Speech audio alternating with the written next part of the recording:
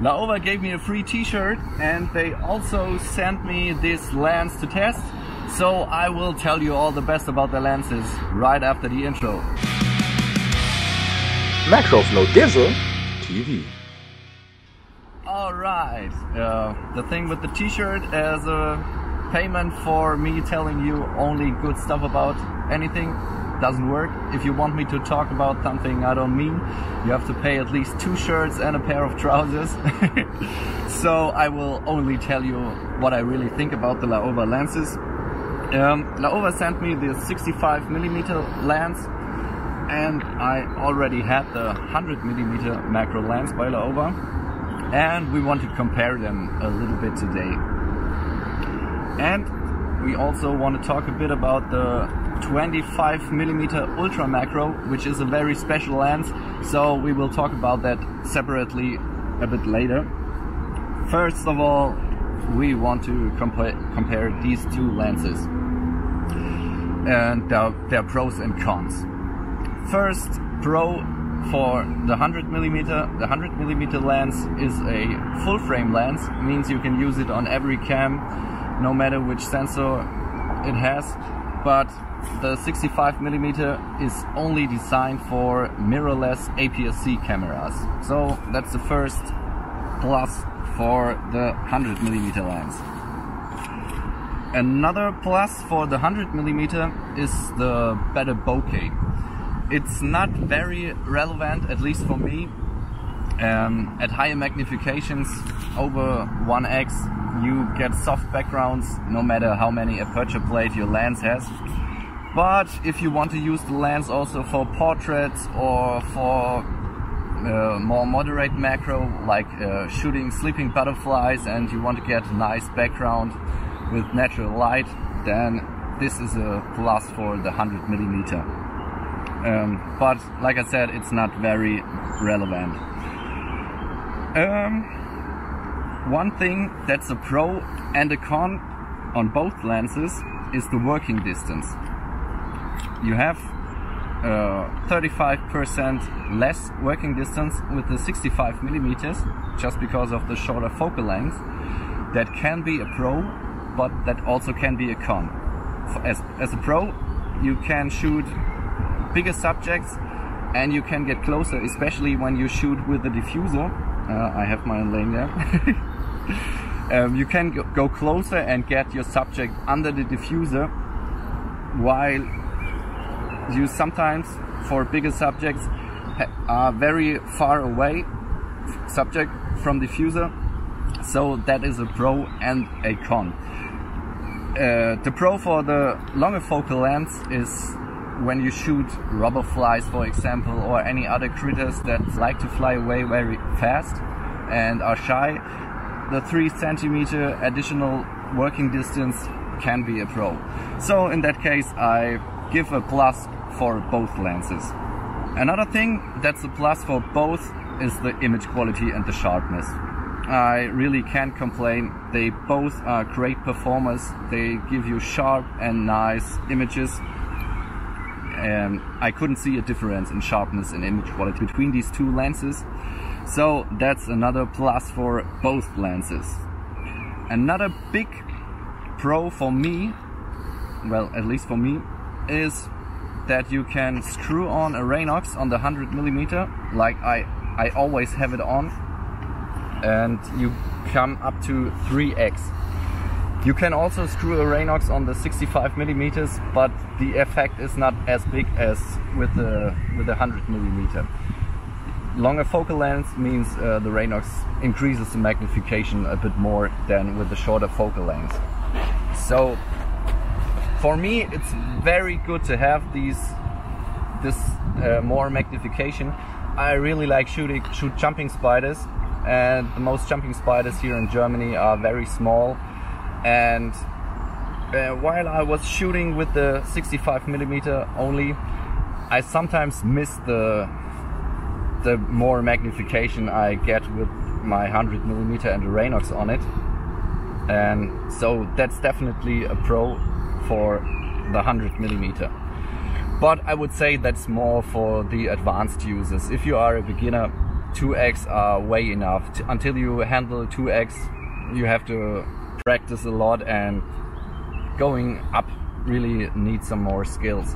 So that's a plus for the for the 100 millimeters, but I would say it's only a plus for advanced users that want to go for higher magnifications.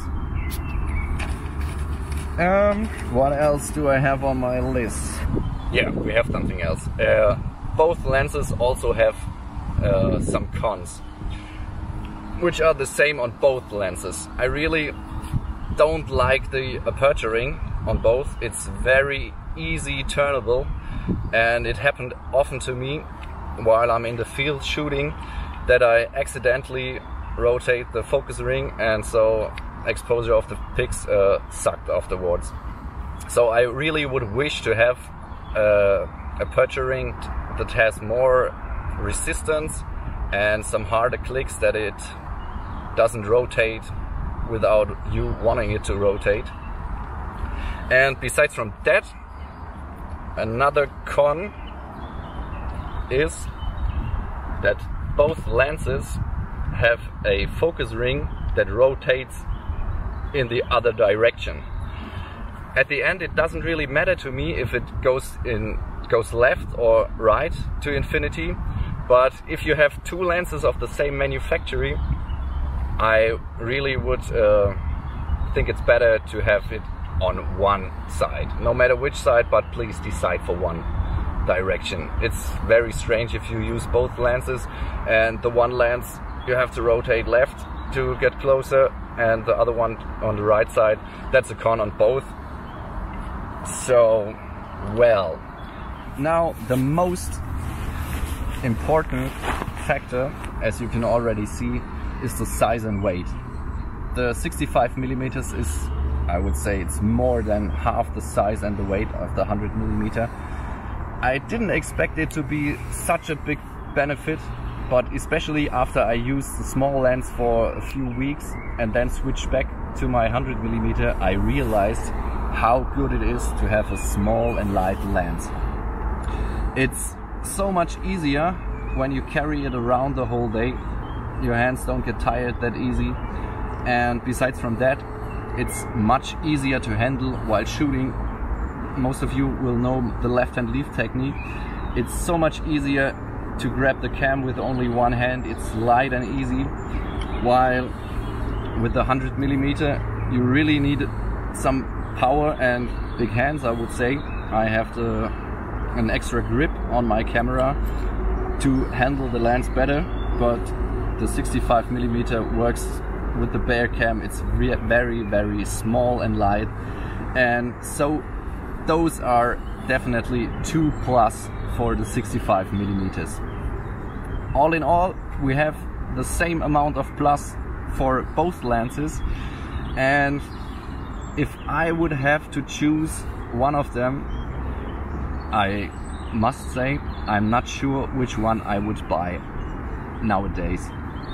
But I really think the handling of the 65 millimeter is very very much better than the 100 millimeter on the other hand, I really like the fact that you can go up to 3x with the 100 millimeter and Raynox on. Um, besides from the more magnification you get, you can also trick a bit the diffraction. I will talk about that in another video later. And with that diffraction trick you can also gain a bit more depth of field with a 100 millimeter and the Raynox on it. But on the other hand, this lens is very much smaller. I really think about also buying the 65 millimeter additional to the 100 millimeter I already have. But I'm not sure. Maybe when I have a bit money left, I will go for this one too because the handling is really, really nice. Well, that's it for these two lenses. A lot of beginners uh, write me messages, ask which over lens should I buy, the 65 millimeter, the 100 millimeter, or the 25 millimeter ultra macro. Well, if you buy the 65 or the 100 millimeter lens, you can't do anything wrong. They are both great performers and also suitable for beginners. They have great image quality and you don't make something wrong no matter which one you buy. I told you about the pros and the cons so you have to make your own decision but especially for beginners I can't recommend the 25 millimeter lens. It's not like a normal 25 millimeter lens, it's more like a 25 millimeter wide angle lens reversed and it only goes from 2.5x up to 5x. The other two lenses can be used for normal photography. You can do landscapes, you can do portrait shots, but this only works for very, very small subjects. You start at 2.5x and 2.5x on a normal APS-C sensor, which is 25 millimeter wide, means you can only shoot a subject that is less than one centimeter long. If you want to shoot a bee, for example, it's not possible with the lens. You can only shoot a half bee or you can shoot a portrait of a bee, but you can't shoot anything else.